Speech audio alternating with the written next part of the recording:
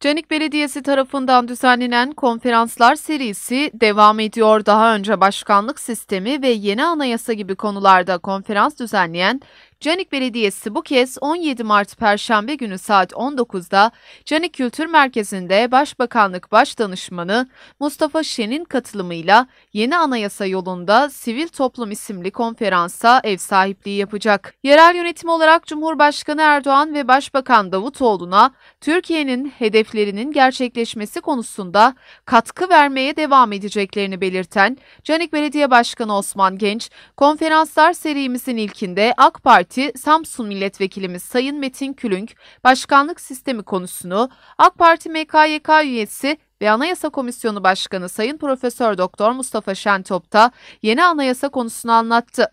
Yine önemli gazeteciler ve yazarlar 7-28 Şubat sürecini hemşerilerimizle paylaştı. Başbakan Başdanışmanı Sayın Mustafa Şense sivil toplum konusunu işleyecek dedi.